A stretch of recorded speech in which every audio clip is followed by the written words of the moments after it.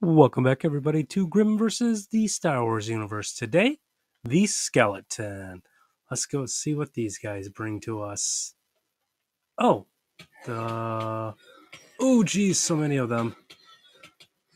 I can't remember what robot these guys are. Hmm. All right, get them, get them, Grim, get them.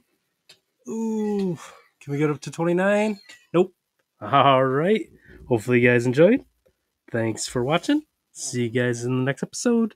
And don't forget to leave a like, comment, and subscribe to the channel. And I will see you guys next time. the guy in the background right there is glitching out with the bone and the arrow. That's funny.